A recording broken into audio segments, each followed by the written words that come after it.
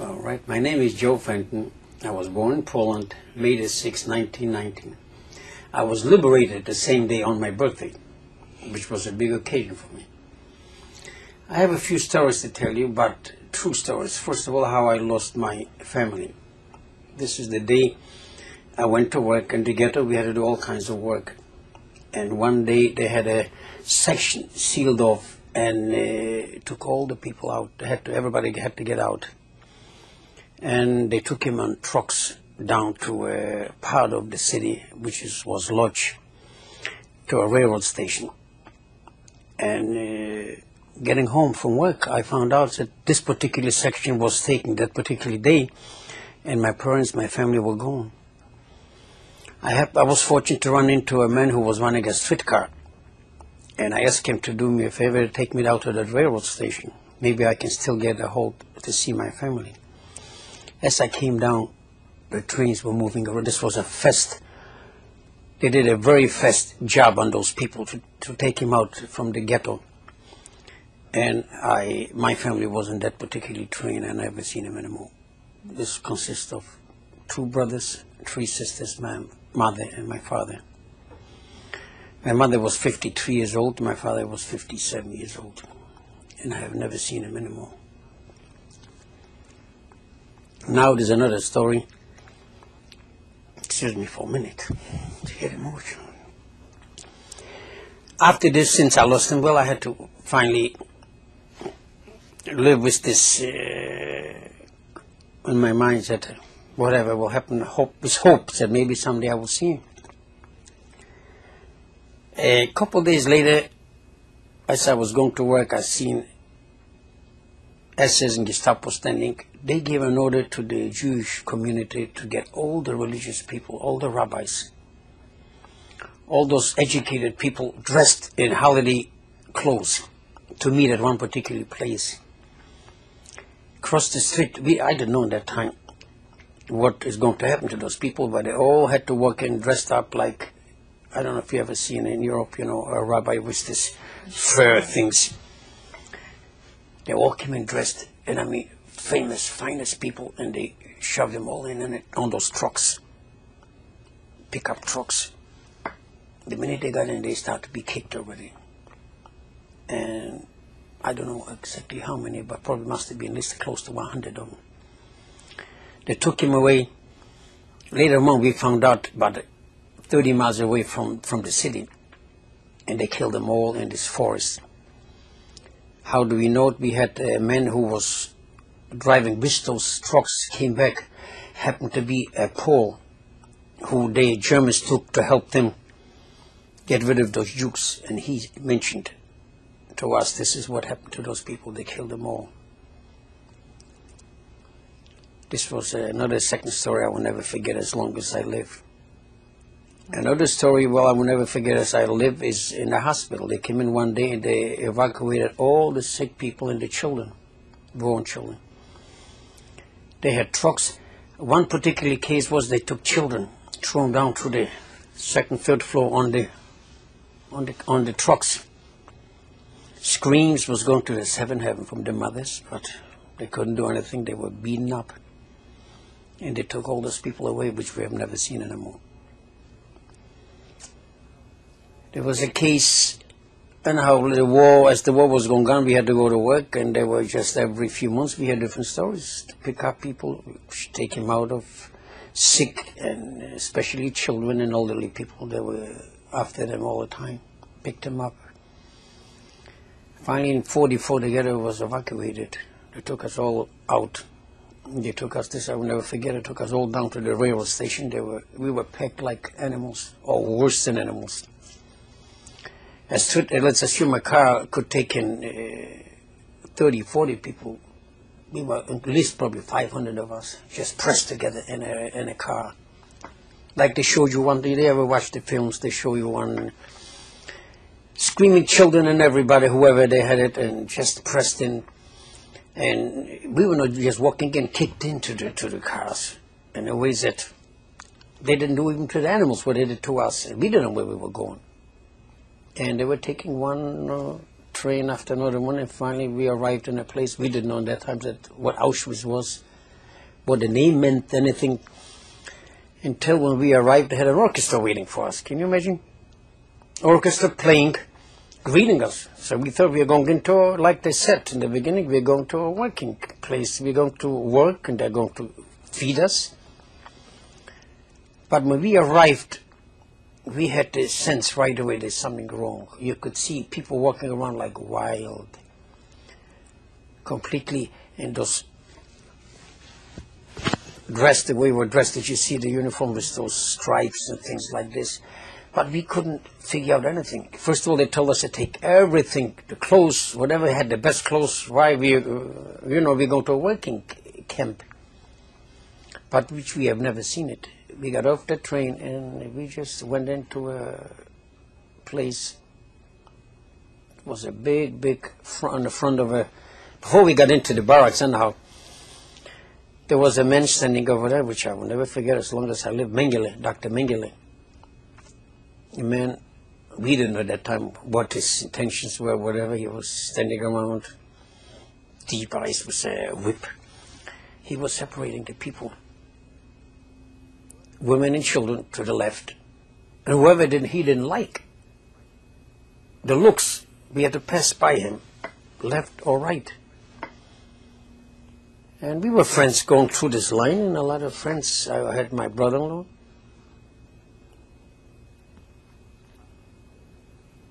friends, cousins, relatives, which we never seen. We didn't know what happened to the on the left side. And on the right side, they took us into a place which was called Badenanstalt, means a place where you're going to take a shower, they're going to wash you up and all the things. And the women and children they took to the left. And they took him into a place which later on we found out they were all guests. To us, they gave us a shower and uh, whatever clothes they had handy. And uh, we had to wait to be assigned to certain blocks. But as time was going on, we ran into the old people which were already for years in Auschwitz, telling us the story that whoever we had went to the left, we should forget about it. Those people are dead. They were gassed.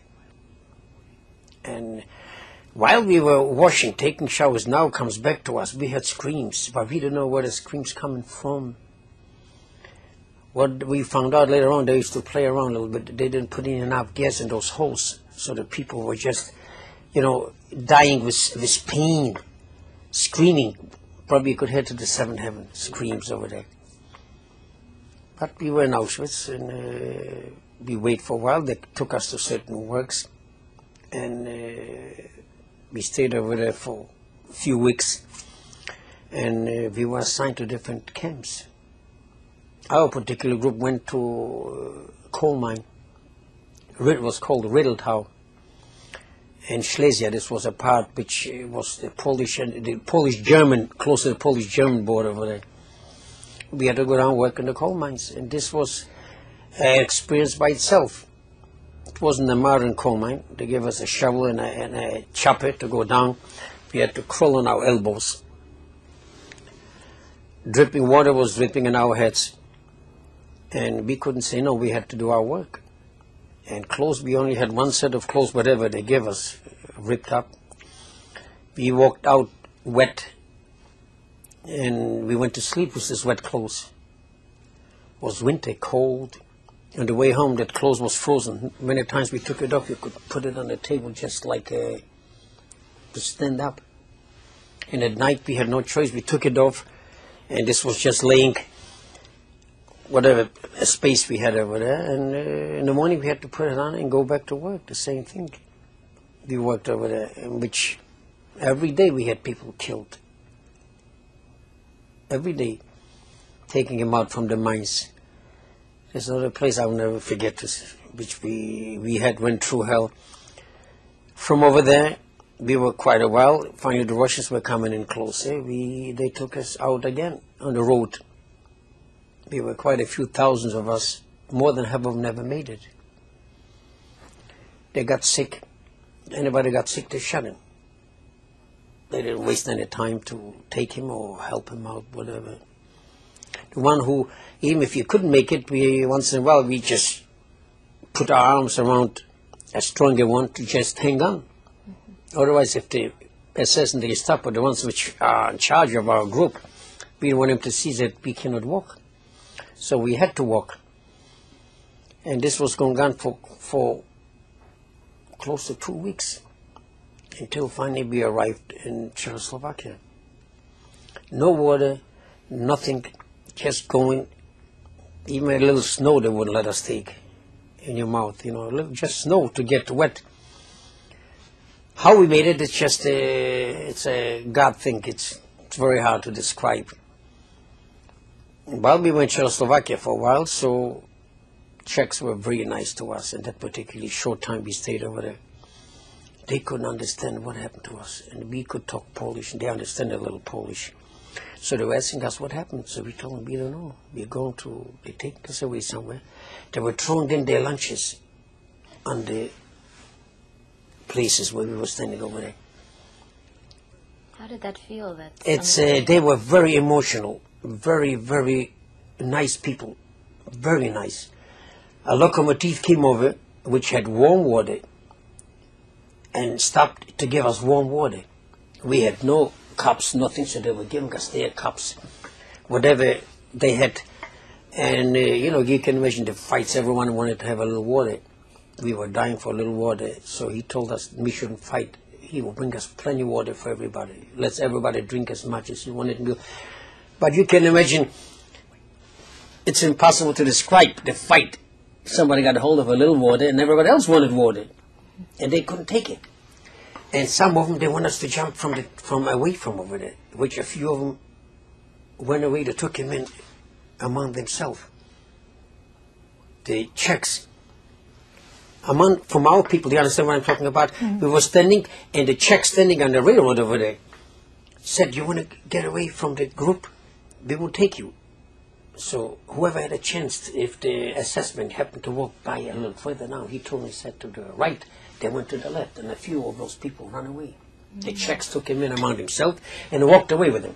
Mm. They took him in in the middle, so they couldn't see the, the who the people are. Mm. And some of them were saved this way. Not a lot of them, but a few got away and and were saved.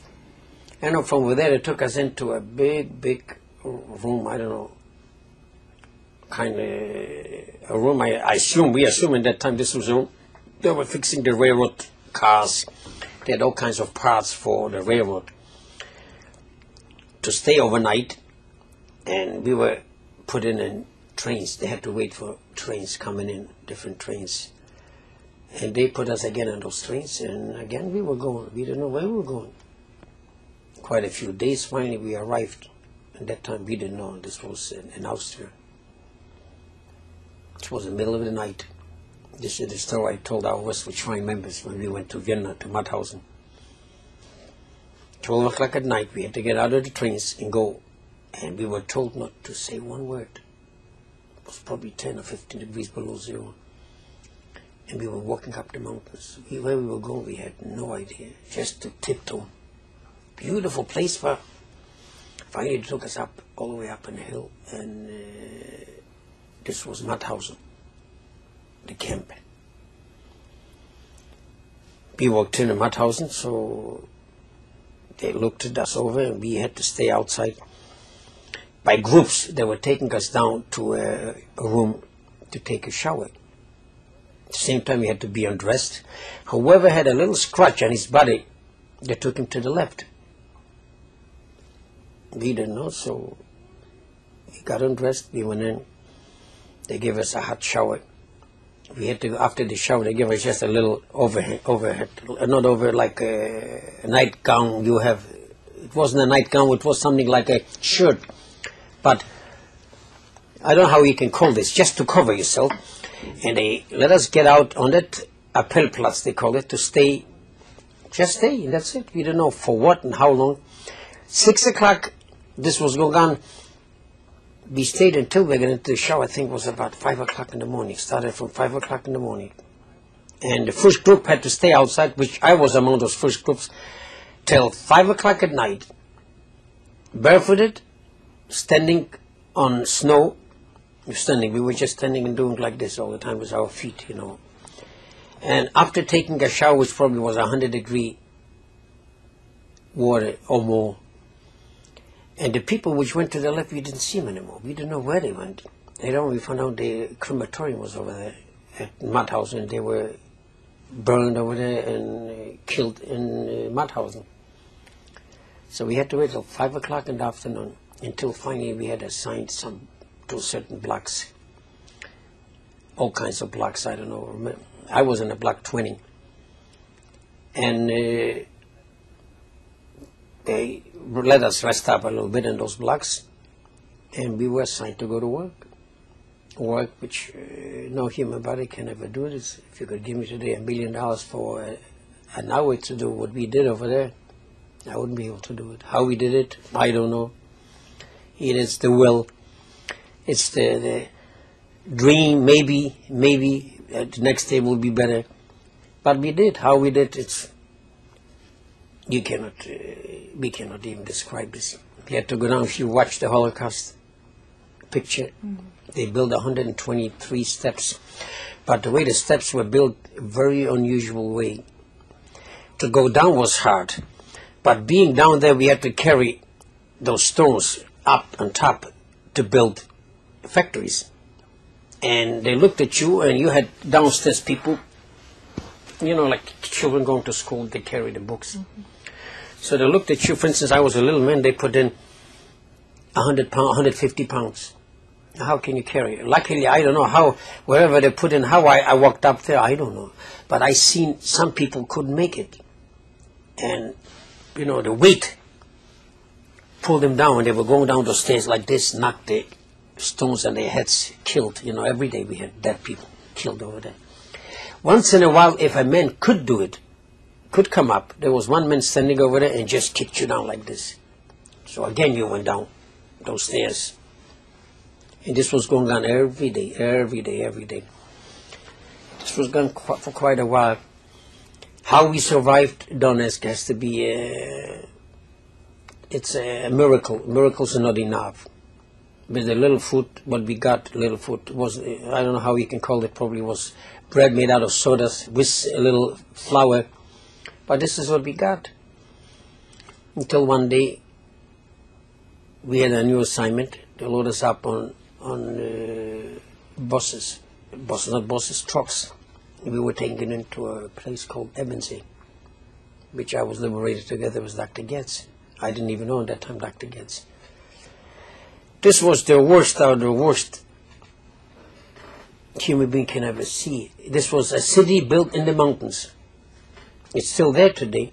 It's called Stollen. The German built a city and they were working after the war. We found out they were making the V1s rockets and the V2 rockets. And we had to build the, ci- uh, the factories inside. You can imagine just as bad as we had in the coal mines and in the mountains is even worse. Ripping holes, you know, those stones. You had a, uh, how do they call it, a vein with those stones and they were just falling off on your head, you know, like uh, flies. And every day we were carrying out dead people from this place. They built a whole railroad was going into this place over there. And we had to work on this place until we were almost liberated. And the work we did, it's, I cannot describe you, and nobody else in this world can describe you, how human being can do it. But when you have somebody over you who stands around with a whip and a gun, and uh, you didn't care anymore. Many times we said, uh, you're better dead than alive. You know, it's, uh, you had so much whatever left in you, and from one side you had a little dream, maybe the next day, maybe uh, pretty soon, maybe something will happen, but we, our, our thoughts were completely lost. You know, like you go somewhere in a place and you have no end to it. Same thing we thought, what is going to be next? But fortunately, we had a man in those uh, stone working who was a civilian engineer, and he started to give us a little information. He was a very nice man, telling us that the Americans are already in the from Italy, coming into Italy, to Africa. we should have patience. We should uh, do the best not to let us down. Maybe, he says, pretty soon the day will come that we will be free. And to tell everybody in the blocks, he says, to keep, not to uh, lose hope. He says, hope is around the corner, but whoever will make it, it's the only way you can. A very nice man. And we used to get back to the blocks, and people always, we were telling the kids, uh, you know what they say, that Americans are coming pretty close. And uh, so we just pulled ourselves together until one day they had a, we had to go out in a Peltplatz, it's called. This is a place you stay in a, like a parking lot. And the chief of the he says, we all the Americans and the Russians are pretty close. We they want us to go into those stone. They're going to hide us. They're going to bomb the whole concentration camps, and instead to be dead, we can be alive if we go into those places. In the meantime, they knew the, the Germans what will happen. But our Lagerliste, Lagerliste was we were having a man who was an Austrian. He was a political prisoner he was a prisoner himself too, but he was not Jewish, he was an Austrian. He was in charge, responsible for the people inside. And he right away had a meeting with us to tell us we should never go to those Stollen. If the minute we go in, we will be killed. They had mined all those Stollen. And if we would have gone in, not even one of us would be today alive to tell the story. So we said, we are not going to go when they called, everybody should go out, and nobody came out. We didn't care what was going to happen. And meantime, the Americans were going so fast, close to to Austria, said the Germans, the last three days we didn't go to work. We didn't know why, but we were sitting. We had no food, nothing to eat, but just to sit and. But eventually we start to add up the two and twos that what this engineer was telling us could be that this is true. And I personally will never forget, I went in in the kitchen, there was a little kitchen which they normally used to cook over there for us something, but they didn't cook. And how I got on top of it, this was the 5th of May, before my, my, my birthday. Just in my mind, and I wanted to look up and see what happened. Maybe we'll see somebody coming close to us. I spent the whole day on the 5th, I didn't see anybody. The sixth in the morning, I did the same thing. I climbed with another boy. How we got on top of the kitchen, I don't know. It was what strength? But I got on top. We were sitting and everyone was screaming, do you see anything? About before noontime, didn't have a watch, but it was close to noontime. Finally, we see a big, like a house moving, coming in our directions. We didn't know what this meant, whatever it is. But they were coming closer, moving, so we were still afraid. We thought maybe the Germans are coming over there. Now they're going to clean us up. Finish off the story. So I was sitting, I said, we don't care whatever it is, but I, the boys were asking, what kind of tanks are there? I said, I cannot see exactly what it is. When they got closer, we seen stars. Normally, we didn't realize in that time that the Russians had a red star and the Americans had a white star on their tanks. And finally, as closer they come into, we see a big tank like a house with a white star.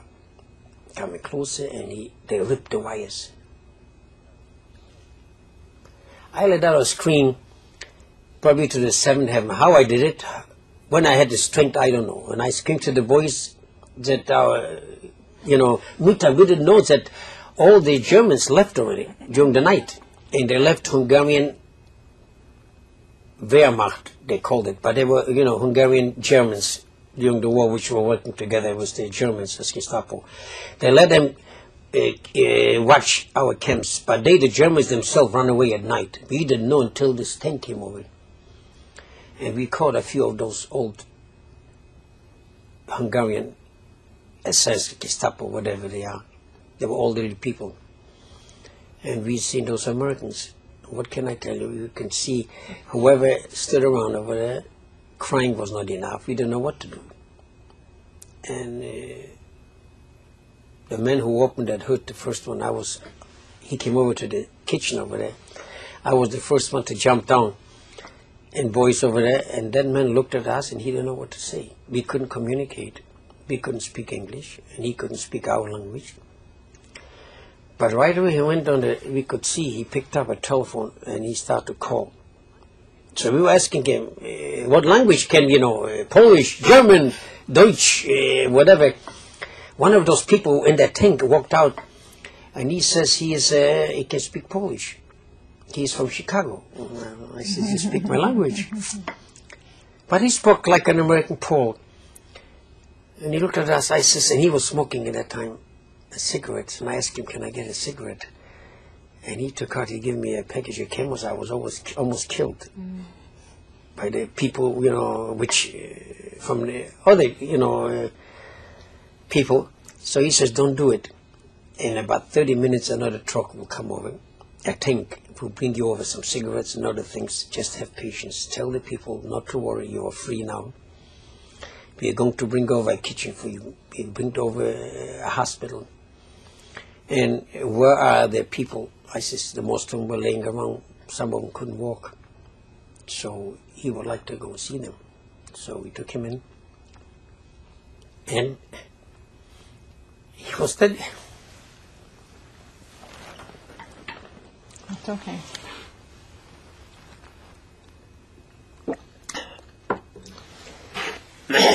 You're crying. was for crying us. Yeah. And I'm standing, he says, he says, I'm coming from Africa. I haven't, I've seen things, but this I haven't seen. People laying one on top of each other. And this is my Liebe. Just, what did you do? How? We don't know. And now they came over about, I would say about an hour and a half later, we had some trucks came over, brought some food over. But he was begging us not to eat the meat. You know, we all dried out.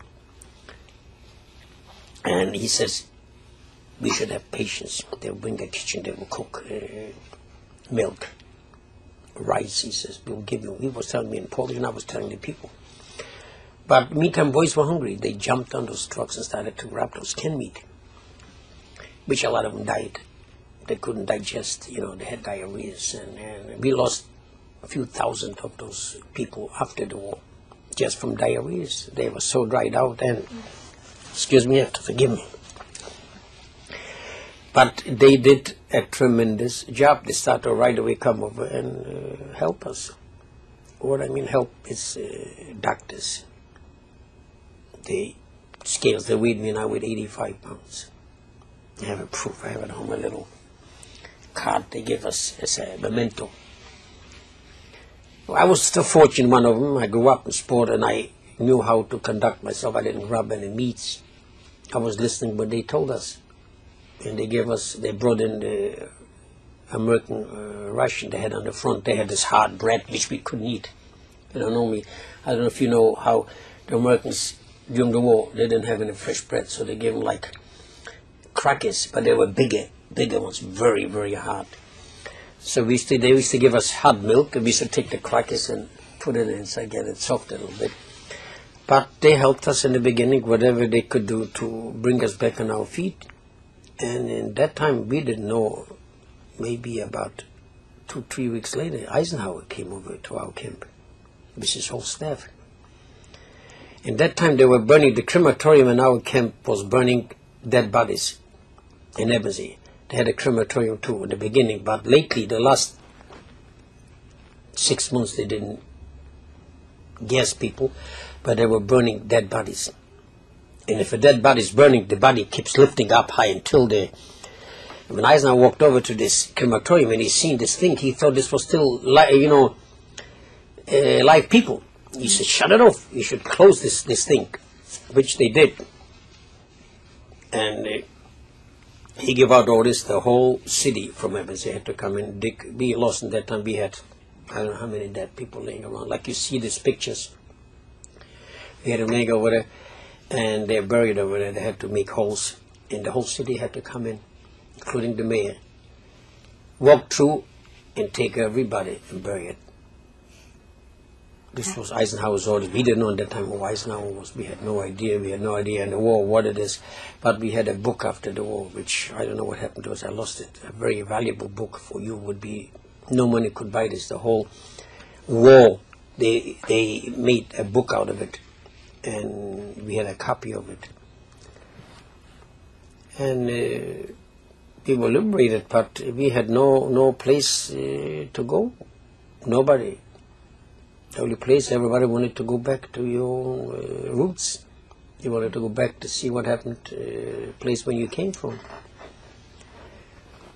But uh, I was unfortunate. I, I had never found anybody from my family. They were all cousins, and a lot of I lost everybody. But uh, one day the Red Cross came over, American Red Cross, tells us they liberated women. We didn't know there were women in, uh, not far away from, they were part of Mauthausen too. And they were about 60 miles away from us. So they said on a Sunday, whoever wants to go. And they had people, they had written down people from Poland, from this city, from certain cities, and they had quite a few girls from my city, where I came from. So we said, we'll go over and meet us. There were a lot of Hungarian women. And out of 500, I think there were half of them Hungarian, half of them from Poland. And uh, we went over to meet those women. We never knew that they something exists. They didn't know that men were liberated, even in this particular part of it. This is how I met my wife. And uh, we had to start. We went back. I went back to uh, Poland to find out if I had anybody left, which I didn't. And I just uh, left Poland. I had no intention to stay there. The, they were so unkind to our people that you had no heart to stay anymore in this country. They could have helped us a lot. They could do a lot of things for the Jewish people, but they didn't want it. We had trouble with them shortly before the war broke out. They were already starting to beat up Jews on the streets. Like uh, pre-war. So I, I personally just left Poland. I says I don't want to see it anymore. And uh, I just walked out and walked away. It was a good cry. The places where I was born raised.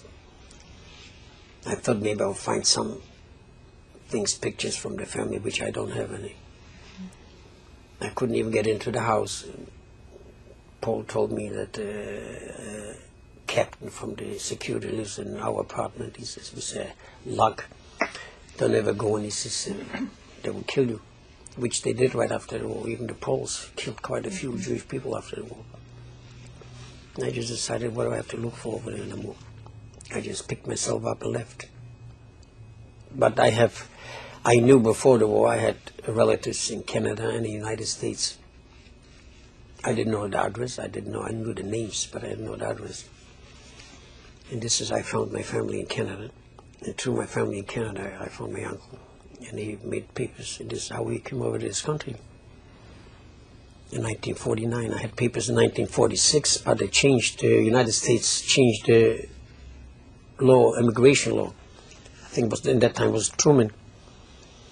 Changed it. We had to wait from 46 till 49 until we could finally, finally leave Europe and come over to this country. And this is where our home is now. Mm-hmm. Now, listening to your story, uh, you're obviously such an energetic person, and over and over again in what you were saying was uh, the sense that you were watching people being taken away, your family, your friends. Well, I lost my family. This is like I told you, I lost my family. I didn't even see them say goodbye. While I was at work, when I got home, they were gone already. And when I wanted to see, maybe I could do get him out or whatever, they were gone, and I've never seen them anymore. Whatever happened to them, I have no idea. And I assume happened to them, whatever happened to my family happened to all those people. They were gassed, burned, whatever. Where I have, I wish I would have known it. I have no place. How do you make your peace with that? Well, peace, you have, uh, you make peace. I was the only one left. Unless I have to leave, uh, just continue a family. What else could you do? You are left uh, like in a jungle. If you want to survive, you have to remember, think about it, But uh, you have to continue. If I disappear, if I would just decide that I don't want to live anymore, the whole family would be gone. There's nobody any, left to tell anything about it, whatever happened to us. So at least I'm the one, like my uncle was asking what happened to his brother, which was my father. So I told him. If I wouldn't be there, who would ever tell him? Who would he ask? Or my family in Canada, which I do have a large family, but this is third, fourth generation Canadians. But they still wanted to know what what happened. And if I wouldn't be around, whoever would ever told them whatever happened to my family. At least they know, like I know. But being young, you just decided what else could you do. In the beginning, you were just like, it's very hard to describe. I hope no, doesn't happen to anybody. You were kind of a, living in a shadow. You think just a short time ago I had a family, I had brothers and I had sisters. Now I don't have them anymore. But you see people still walking and existing and going around starting to put the little pieces together, this puzzle, and continue to live. So the beginning was a heck, heck of a life. You know, the first, I would say the first year, you still, that's all we will talk about it. Did you hear anything about anybody left in your family? Anybody left in your family? Everybody was asking everybody, did you hear anything about my family? Did you hear anything about his family? And I went to the Red Cross and they asked him, they were looking all over Europe. Maybe, you know, I was fortunate, I was known in sport, so they, they knew my name. And they helped me a lot, but if anybody would be alive, I would hear about it. But unfortunately, nobody was alive in this particular time when they took my parents and my sisters and brothers out out of that time, this was in 1941, nobody was ever alive from this group. After the war, when we were asking people, we had no reports about anybody left alive. So I had to learn to adjust myself. I have a daughter which she knows the story we don't talk all the time about it, but she knows what happened, how it happened. And you cannot pile the way we look at it. We don't want our children to forget about it. But you cannot put a pressure on a child and force the child to live with it all every day. Psychologically wouldn't work. The child would just grow up with the hatreds. why why did they do it to my grandfather? Why did they do it to my to my grandmother? So we keep telling, we just keep. They know uh, she knows the whole story, but uh, we don't talk all the time about it. For instance, tonight we know. My daughter knows we're going. We have an affair. We have to go see a, a professor coming. What we do, what is the reason for it? why we are doing it, that the world should never forget. I had cases in this United States, people which were questioning me, people, non-Jewish people, and uh, I just cannot, one was just, I didn't ask him anything, but something came up from where we said, Joe, do I understand you want concentration camp? I said, yeah. Me, you're telling me you, I, the way I heard you're 85 pounds and you're working coal mine, I just don't believe it. Just like that. So I just told that man, I says, have you served the armed forces? He says, no. Have you been overseas? No. So I said, don't question me. You have no idea. Either you have something against the Jewish people, or you live with a, a, a dream something that uh, the whole story was just a fiction story. This is not a fiction story. This is a true story. If you like to believe it, it's fine. If you don't believe it, don't believe it, but don't question me. You have no right to question me. You have no, you have never had an experience to see those people or to fight in that wars that people which liberated those people. So I says, he just looked at, he didn't like what I told him, but I didn't care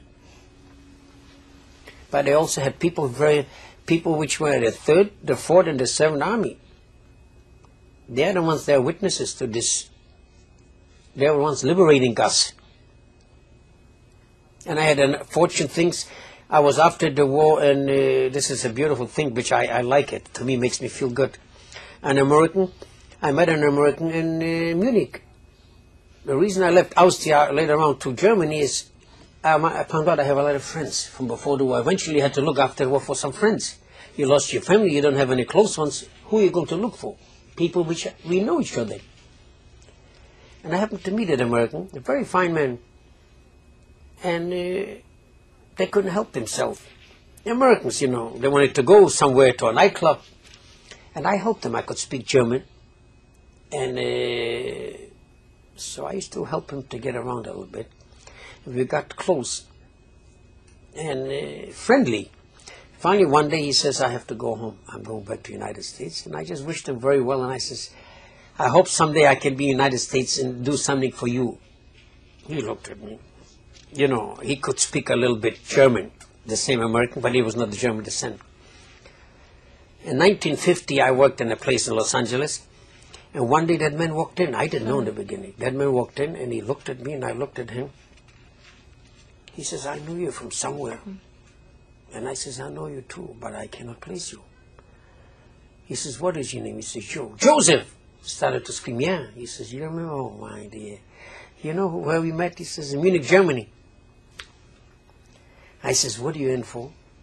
He says, I my relatives are in meat business. I'm going to start a route as a job, and I happen to be a house salesman in this particular company. Mm-hmm. And I says, I tell you what I will do for you. You need some credit. I went into our credit manager, and I told him, I says, I want you to give this man $500 credit. If he isn't going to pay, you take it off my wages. But I want to give him a break. I said, that man, and I told him the story. I met him in Germany and Munich, how nice he was to us, helping us, anything to do. And uh, so he was going around in the city telling everybody what a little me, a refugee, came over to this country, helping them. Which, to me, I helped a lot of those people. Later on, as time goes on, I says anybody who came over just to pay back why the Americans were so nice to us, it's very hard to describe. You left alone, they came over, they didn't know what to do. You need any treatments, you need any anything to help. Why they seen it? They were the first ones to look at those dead people, people which were walking, dead people walking around. Can you imagine? This is just like a dream. You see a little puppets on a string. This is the way people were walking. Like puppets. How they could walk, I don't. You know, you look at me today, would you believe that I weighed 85 pounds? You wouldn't believe it. I myself many times don't even think, but I was fortunate. I was not a big eater. I was always, as a kid, control myself in sport. Maybe through this I'm alive. But all the big eaters couldn't exist. They just went very fast. So it's things like this which you, you uh, have to live with it, but we want the world to know. We want everybody to know that things like this existed, and we hope should never exist today when you hear and read the papers what is going on in Iran and different countries, how they a person is nothing. You take in Arab countries over there, they take an individual has nothing to say. They just take him out, no, no, no judge, nothing. They are the judge. Khomeini, excuse me for the things, takes those people. They, they say, according to the reports, once in a while you hear at night that he killed 150,000 people without even having a court. So you can imagine what happened at war. So they killed, normally they killed 6, 000 6 million Jews, but they killed 11, mi- 11 half million people, Jews and non-Jews. For no reason whatsoever. I used to see, I have to tell you a story. And the ghetto, they used to bring in every night to the cemetery black pickup trucks, vans, dark. And they used to bring in over there, and we used to hear, we didn't know what happened. We used to hear like a little crackers at night, you know, from the far away. We had to work at nights too many times. Like a machine gun shooting. We found out the Germans used to bring in their own people, which were against them, intellectuals, and kill them in the Jewish cemetery, and bury them in the Jewish cemetery. So you can imagine how can we not tell these stories to the world, said we should, uh, uh, we hope we never have to live through or get somebody vicious like the Hitler group, Hitler and his group. I've never seen Hitler, but I've seen Himmler. To describe Himmler, it's just you, you look at you could look at his face, this viciousness on his face is just hard to describe. The same thing like Mengele, the Dr. Mengele. They were having fun. This one night we had, you know, comes back to those stories. I can tell you stories for weeks. Two young uh, majors walked into the barracks, and this was in uh, coal mine, yeah. Drunk. What? Where are you from? And they started to shoot at us from nowhere, just having fun. And the other guy was taking pictures. Can you imagine people to have fun to go into people, shoot him, kill him, and the other guy would take pictures. One man walked around with a dog. That dog was as big as a cow. This was a young man, a major, a German Gestapo. The dog was trained in a way he would walk over, we were standing on a Pelplatz, means they were looking us over every day to be sure that so many people are around. And he used to walk, walk by. If he didn't like his looks, your looks, he just did to the dog like this, in a minute you were dead. The dog jumped and you grabbed you by the throat, or by the, you know, below the, in a second you were dead. For the kicks, and the next guy was taking pictures of it. What went through your mind when you saw that? Well, uh, you didn't know what to think. You know, you, you were kind of a, scaredness is not enough. I've seen cases where a father and a son were fighting. They were laying on those uh, wooden places tied with a little shirt they had. The son was afraid he's going to lose his father, couldn't take it anymore, or vice versa. Why the wires around us were was electricity.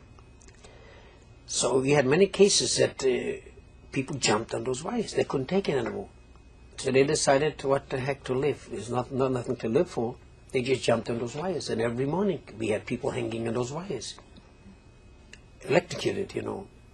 And this particular case, a very famous musician from our city, his son couldn't take it anymore and he just separated himself. And the father, in the morning we had screams, we don't know what happened. And he walked out, there was his son on those wires. Hmm. A young boy couldn't take it anymore. We have about nine or ten minutes left. So those stories, it's kind, you start to remember things, for instance, seen in the ghettos where a German, can you imagine looking up, mm-hmm. people were looking down from windows and he was taking crack shots, going over, shooting, and if a kid was hanging down there, fell down on the, on the side, just for the kicks. So a human body, a human being was nothing, comparing to, to the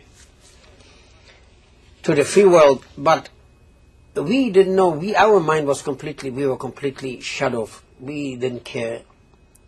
Our existence. We had no existence. We didn't know what will happen the next day, the next minute, the next hour. Every few minutes, something else happened. Every the same thing is in the camps. You didn't know you were going to work if you're going to come back. Sick, you couldn't afford to get sick. The minute you got sick, you were gone. They can they didn't keep sick people. Even if you were healthy, you couldn't. You had a rough time to survive. But sickness was the worst thing. And you've seen uh, people close to your friends and and and, and uh, relative disappear, just like uh, they never existed. So our mind, we were completely. I never believed in my life that if we are going to be free, we used to envy a cat, a bird, fly, nobody bothers them. They can go wherever they want to go. We couldn't go where we wanted to go. We were limited to our speech. We were limited to our get together. They kept telling us always in the barracks we shouldn't talk. We should. They don't want to hear any voices. We had to lay, whisper. We had to obey, not just obey. You know, a soldier has to obey uh, rules too. But to us, we were nothing to those people. So we just didn't know what is going to happen the next day. We never dreamed of it. One day we'll be able to be free and tell the story. We were just waiting where we are going to die next. Who's going to be next? Yet you had a special opportunity, right, to go back to Mauthausen as a free man. Well, this was this is the reason I took our our Shrine Club Americans, which had no idea how a concentration camp looked, how a crematorium looked, and this was we were in in, in seventy and seventy seven. Yes, in seventy seven, and I took down the group, went into the place I was in that camp and I showed them the crematoriums and the torture rooms. You can imagine after so many years. Today, you pass by those rooms, that blood is still on the walls. They didn't clean it up, left it over there. The smell today is still the same smell as it was during the torture time. They left it as it is. So when we had a group of, how many did we have at that time? We had uh, a, a troop, I think was 180 or 200. I don't remember how, many, how big the group was. I was, and I just I couldn't go through the things anymore. I told them, "You go through, I cannot go in." I says, "My heart doesn't let me go through, but you go through all the way now. You come up the stairs and you come back on this place." And when they got up, they didn't know what to say.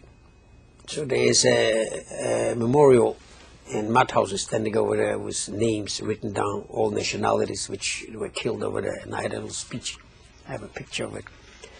So you had those people standing, young and old, crying.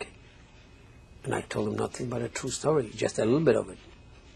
So I says, at least now you have an idea. When you hear about concentration camps, you hear about torture things, a little bit. You couldn't, this is just a short little story. Now you can imagine the whole story from 1939 till 1945, what happened. Which it's very hard. I says if I have to tell you stories, I have to sit down for a year and tell you stories. Every minute was a different story. Every minute. Going to work, coming from work, going down to, to the coal mines, going down to the, those things, how we were treated and kicked. But this, we didn't pay attention to it anymore. Why life was mean, meaningless. We, we didn't know what will happen. Many times you were praying, maybe the next day I shouldn't get up. Forget about it. You know, just be better, which a lot of them did. But at least Sir? you wanted to know maybe someday you'll be able to tell the story. This is what keeps you alive. With hope. So let's hope one day. And fortunately, unfortunately, fortunately, I'm the only one in my family. I can tell you a little stories about it. But I assume it's uh, it's just unbelievable to live through these things. Try to find a new life, start a new life, getting married, raise children, and uh, tell the stories. But you cannot keep telling them all the time. Eventually, to some people don't want to listen to the true story. You have people they don't want to listen. They don't believe it. They keep telling you, no, I don't believe it. I had those once in a while. But how can you force him to believe? You just can't do it. You have to tell them as it is and let them pick up whatever they think. But all I, I assume every one of us telling you those stories is telling you nothing but the truth, just a little bit of it, just that tiny little bit, what we went through. This is why we we have, uh, my, from, uh, particularly me, I had an obligation to this country. I was liberated by the Americans. They were so kind to us. And anything I could do for the Americans, which I did during the years I was in uh, this company working, all those people just a little bit return to make their life a little easier, which I did. It makes me feel good. But in our way of life, we just uh, keep, we have to, uh, we get together like we do in our group. We have all different kinds of groups doing things, charity things for all domination, not just for the Jewish people, for anybody who needs help. We know what help means. And uh, we hope to prevent so the Holocaust like this should never happen anymore. The main thing to us is the children in the schools should know about it. Not to believe like we had this, uh, was it a professor in a school who said that the Holocaust never happened. Right. This is the most horrible statement a person can make. The Third, Fourth, and the Seventh Army has all the documents about the liberating, liberating concentration camps. We had those books after the war. I don't know why they pulled them out from, from existing. They had them. I imagine in their library. The, but there were books printed after the war. In every city, you could go into the, uh, like the mayor in the city, and they had books showing you this particular camp was liberated, how the dead people are laying around over there, which army liberated, how they found the people over there. There's proof to it. And they were showing even pictures among the army. You know, they were leaving the army on the first front, the ones which were fighting, let them go home, and they were replacing this new, excuse me, with new uh, soldiers. But they were showing them the pictures. I know it.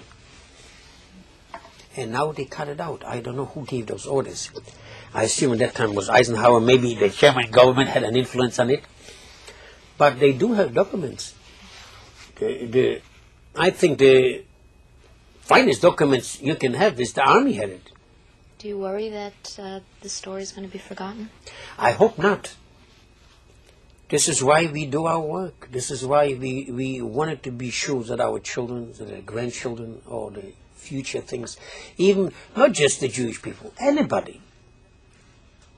It's happened to a few other million people, non-Jewish people, which were killed the same way. But the way they they were killed, the way they killed my parents, the way they killed innocent people. You know, you go to a court, you kill somebody, the judge gives you, uh, you're a vicious man, you just a killer. So he says you have to die in the gas chamber. But we didn't kill anybody. We didn't harm anybody. We have done anything wrong except being good citizens. We were good citizens. We were good people. Uh, we're coming close to the end of Yeah. the tape, and I wonder if there's any final statement that you would like to make. Well, the final statement I'd like to make, I hope whoever is will listening to this tape will believe the story and will work very hard for a country, for a cause. If they ever run into people who are anti anybody, anti religious, anti nationalities, should learn a lesson from this what we went through, not to let these things happen. Mm-hmm. To fight. Mm-hmm. Well, thank you very much for telling us. This was very, very important for you to say, and we, we thank you for Well, this is the way I feel.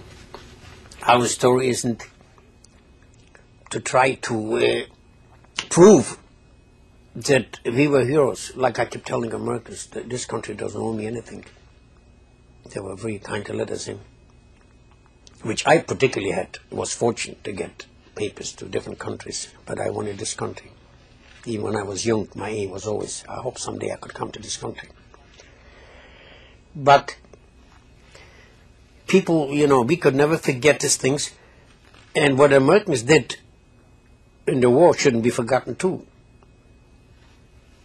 You know, there were the English, the French, the, the all different armies fighting the Germans. But what the Americans did, they shouldn't be forgotten either. They were just outstanding. Great.